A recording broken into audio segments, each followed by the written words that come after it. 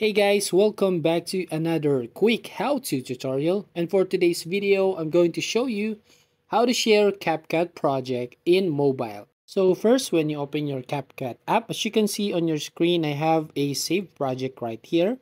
So if I tap this one, it will show up the video project right here.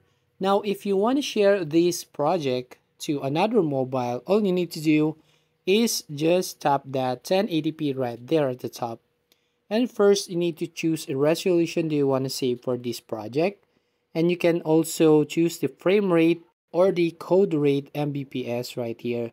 Now, once you've done choosing or editing this one, tap on the export icon at the top right corner of the screen and it will start to exporting this video project right here. So you need to wait a few seconds until it completed to 100%. And once it's done, you'll find here an option where you can share to TikTok, post as template or tutorial, or you can share on the social media platforms right here.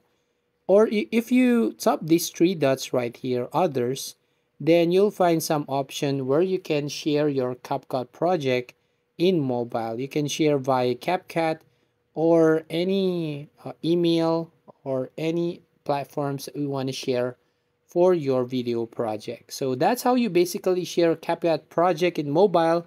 So thank you for watching. Please like and subscribe to this channel and don't forget to ring the bell icon to notify you on the next video.